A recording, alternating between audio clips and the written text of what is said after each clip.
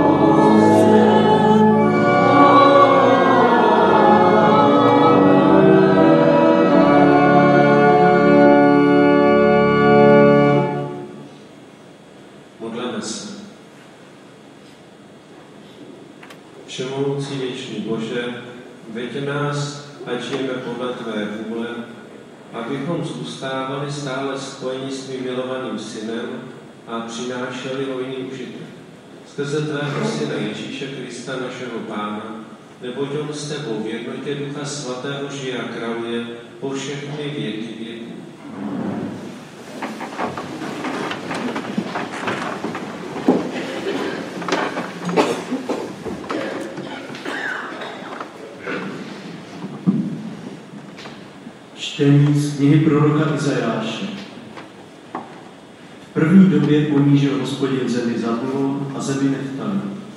V poslední době však oslaví mořskou cestu, kraj za Jordánem, Galileu pohan. Lid, který chodil ve tmě, vidí veliké světlo, obyvatelům této temné země schází světlo. Dáváš mnoho jásotů, zvěstuješ radost, veselí se před tebou, jako se jáca oživí, jako plesají ti, kdo se dělí u kořist. Nebo jeho, které tížilo, hůl na jeho šíji a bodec jeho krokáře si zlomil jako za midiánský dní. Slyšeli jsme slovo Boží. Hospodin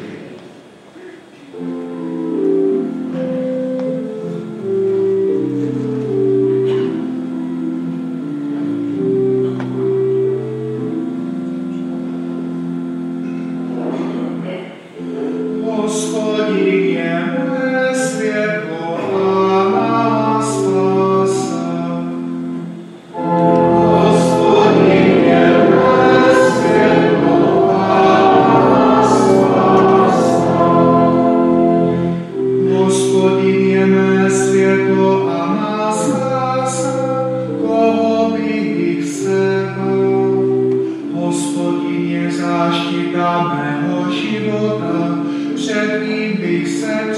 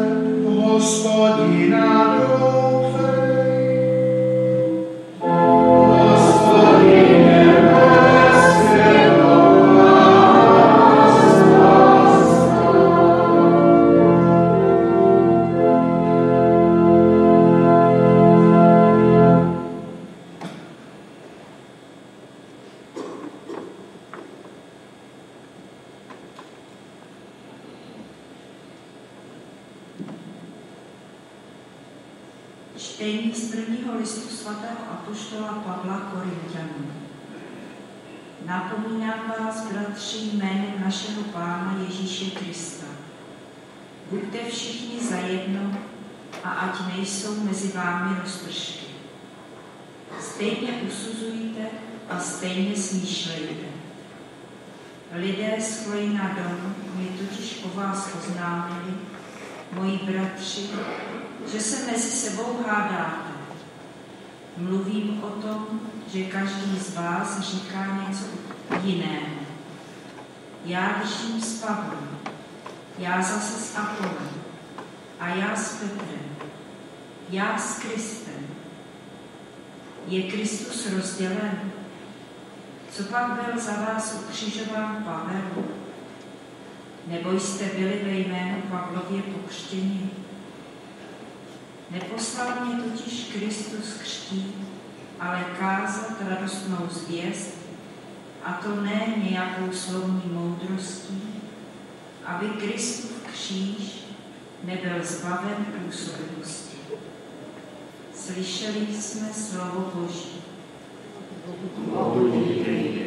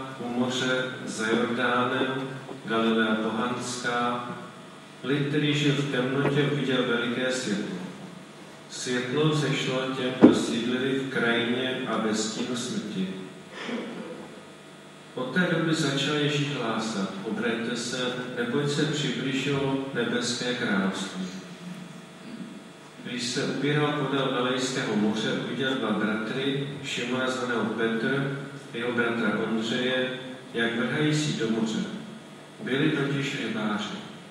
Řekl jim, pojďte za mnou a udělal z vás rybáře lidí. Oni ne- nechali sítě a následovali. A jak šel tam tu dál, uviděli ne dva bratry, Zebedova syna Jakuba a jeho Jana, jak na lodi se svým otcem Zebedel správní sítě a povolal je.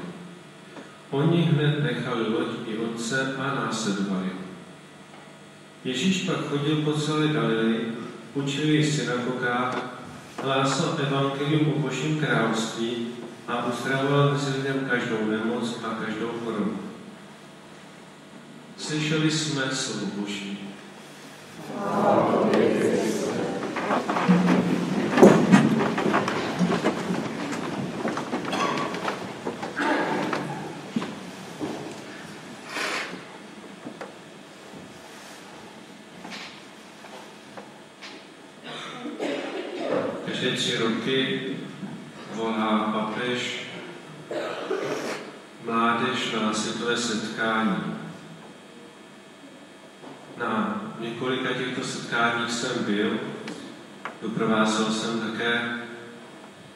kteří se chtěli setkat s papežem, chtěli se setkat mezi sebou navzájem, aby se povzbudili ve víře, aby si uvědomili, že církev není jedna farnost jenom, ale že je univerzální.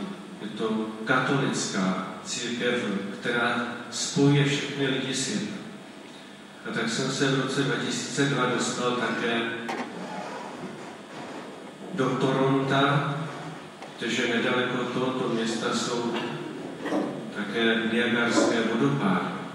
Také jsme tam stáli v té propasti, do které se žmutem padá voda nezadržitelně, jak ustrává všechno, co se odstne v tom proudu. Možná víte, že letos poprvé Niagárské vodopády zamrzly, že jak pohodila v Americe ta velká zima, tak, tak je to teď spíš než vodopád, tak je to ledopád. Když jsem viděl tuto scenérii, tak jsem si vybavil tu píseň, kterou jako kluk jsem také na kytaru se snažil zahrát, ten mě učí Niagara, ten mě učí do noci, komu láska v srdci hárá, tomu není pomoci a tak dále. A tehdy jsem to chápal velmi jednoduše, tuto píseň. Dnes mě eh, připomíná ještě jiný rozměr, než jenom eh, tady tuhle tu takovou dramskou píseň. Ukazuje totiž na lidský život. Narození jsme se odstli jakémsi proudu času a ten nás nezadržitelně unáší vpřed. A hrozí člověku to, že jednoho dne se odstne právě na tou propastí, nad tím propadlištěm do, do temnoty. A jak se může člověk z tohohle proudu vysvobodit, vymanit? Ježíš Kristus hlásal evangelium o Božím království. Žijte duchovně, nepropadnete žádostem těla. Člověk se může vymanit tím, že uvěří, dá se pokřtít a vymaní se z nadvlády hmoty, z té gravitace světa. A jak říká básník, proti přitažlivosti zemské do výše volím pád. Co nám, bratři a sestry, nejvíce brání v této svobodě, je ta naše hárající láska, abych se držel té písně. Víte, že hárající v láska je vlastně jakási naše přirozenost, ta, která eh, ovládá člověka po té tělesné stránce. A Ježíš Kristus hlásal evangelium o Božím království, aby nám ukázal svobodu nad přírodou. Aby se naplnilo to, co řekl Bůh v okamžiku, kdy stvořil člověka, aby vládl tomu všemu, co ho obklopuje, aby byl pánem nad tím stvořením, aby se nenechal tím proudem času a života strhnout do smrti. Ano, my o té smrti víme. A nemá smysl si říkat, neexistuje, nás se to netýká.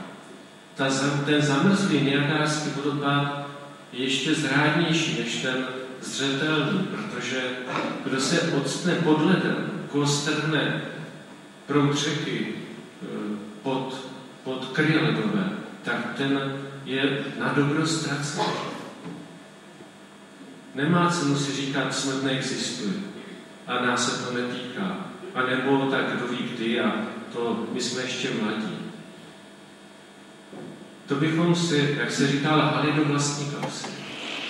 Je třeba s touto událostí počítat. A počítá s ní ten, kdo žije duchovně, kdo říká každý den, hospodin je mé světlo a má spása ten v okamžiku smrti skutečně volí pád do výše proti gravitaci, proti přitažlivosti zemské. A tak kež vás, bratři a sestry, toto evangelium, tato dobrá zpráva osvobodí od hárající lásky, od té degradované, omezené jenom na, na tenhle boží noční život. Ježíš Kristus nás učí lásce. Lásce, která přináší radost a pokoj, dává naději, dává si obětovat se. Zemřít dřív, než vlastně člověku smrt všechno vezme. Tím, že člověk denně odevzdává to své já. A tak vám přeji, abyste mohli zakoušet tuto svobodu dětí Boží. Abyste se nenechali zotročit tou lidskou přirozeností, ale žili duchovně a tak zakoušeli život věčný už. Dnes, zítra, každý den.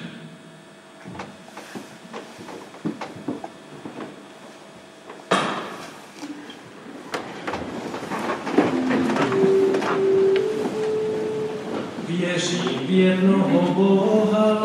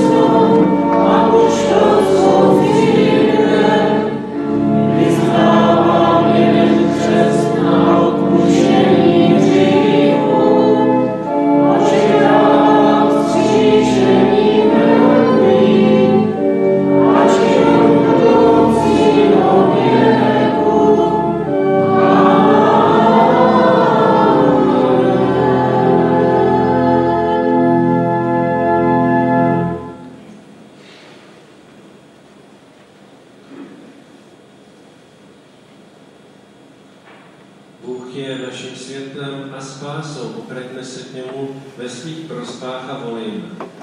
Dej, ať skrze tvou církev vzejde světlo všem národům. Dej poznat mocným tohoto světa, že jejich moc je jim- je jim jen propůjčena a prochází od tebe. Dej, ať nespravedlivě trpící posiluje naděje ve tvou spravedlnost a lásku. Prosíme za mír a pokoj na Ukrajině. Prosíme tě, vyslyš nás. Přijmi Bože oběť této mše svaté, za rodiče Nekulovi, Coufalovi a rodinu Kobrovu. Prosíme tě, vyslyš nás.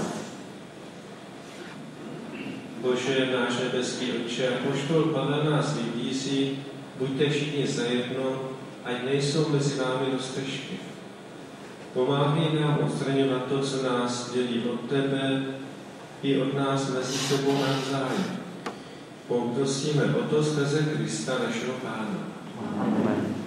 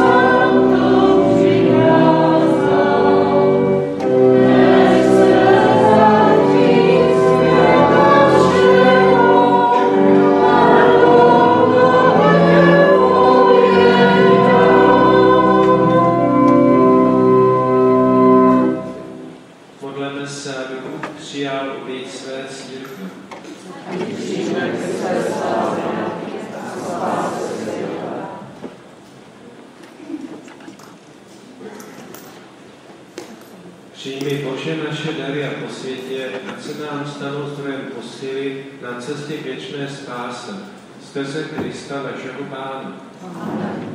Pán s vámi. Svůru srdce. Zdávejme díky Bohu našemu Otci. Pravdě důstojné a spravedlivé, dobré a spasitelné, svatý Otče, všemohoucí věčný Bože, abychom ti vždycky a všude vzdávali díky, neboť v tom poznáváme tvou velikou slávu, že se tvá božská moc ukázala skrze lidskou bezmocnost. Vždyť tvůj syn, náš Pán Ježíš Kristus, se vydal na pospas smrti a nás smrti vydané ze smrti zachránil. Skrze něho anděle chválí tvé jméno, lidi na tvou tvář a ustavičně se radují. Také my se připojíme k jejich chvalospěvu, vyznáváme tě a voláme.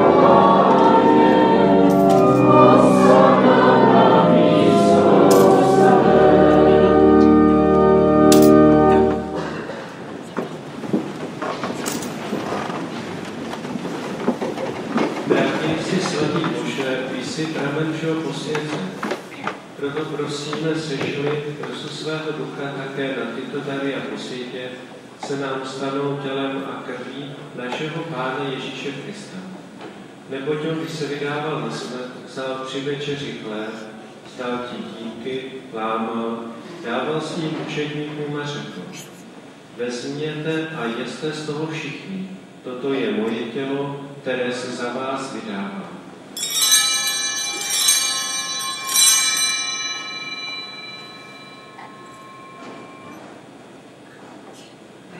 Po večeři vzal také kalich, ti vzdal díky, dal si učedníkům a řekl, vezměte a pijte z něho všichni. Toto je kalich mé krve, která se prolévá za vás a za všechny na odpuštění hříchů. Toto je smlouva nová a věčná, to konejte na mou památku.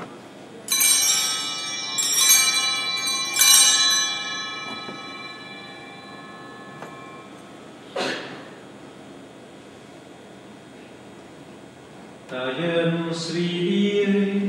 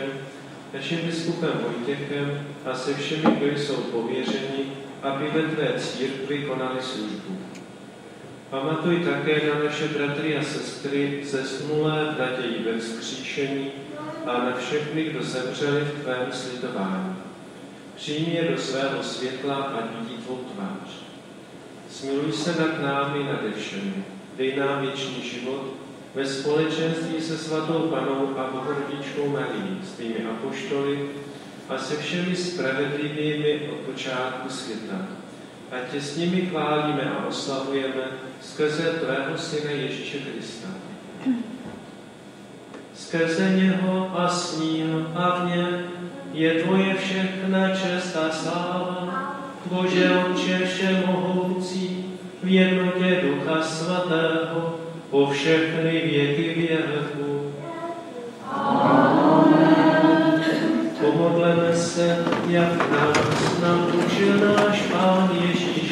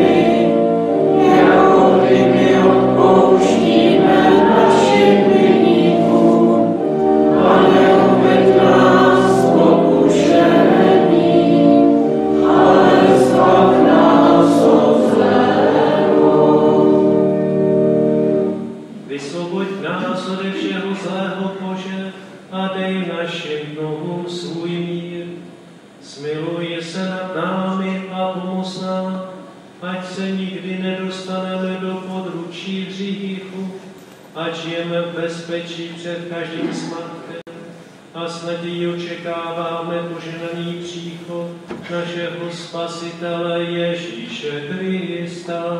Pane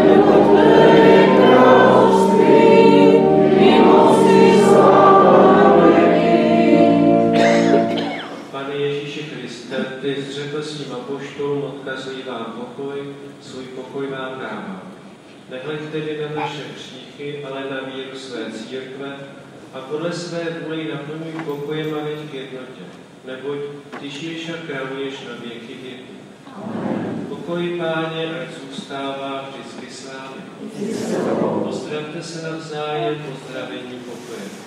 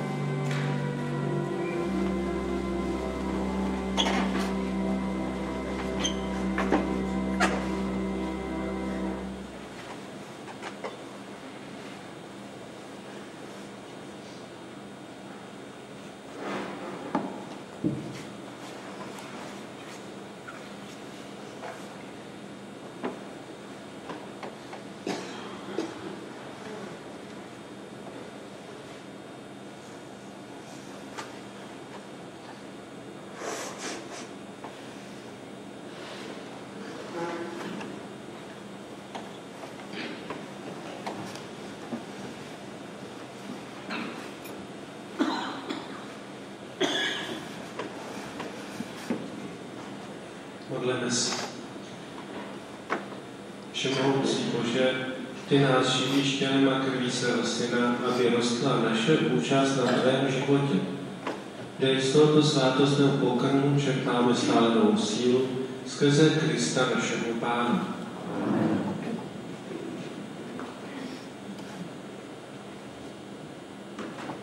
Co nás čeká na následujícím týdnu, pondělí, svaté neděli Meričiové Pany, úterý památka svatého Tomáše Ankritinského kněze, pátek památka svatého Jana Boska kněze. Pátek je adorační den v Rancířově, mše svatá je tam 10 hodin.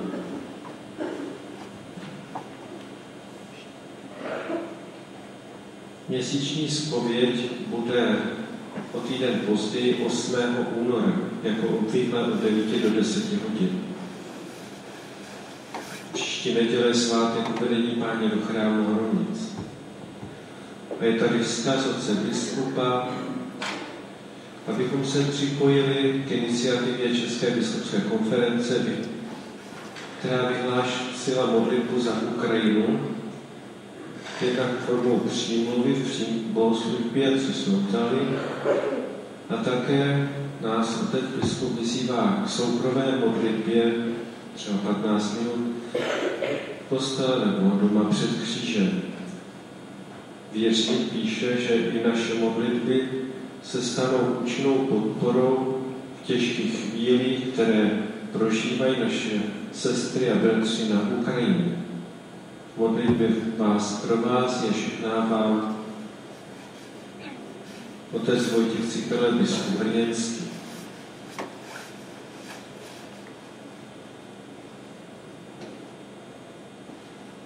Jsme bratři a sestry pozváni k tomu, abychom opustili sítě všech možných plánů a představ a šli za Ježíšem, tak jako apoštolové, abychom se spolehli na to, že On nám dá život vojnosti. A tak, když budeme žít duchovně a budeme se bránit té přitažlivosti světa, tak nám smrt nemůže nic dít, protože už dávno všechno odevzdám. Pán s vámi. Požehnej vás všemohoucí Otec i Syn i Duch Svatý. Jděte ve jménu Páně.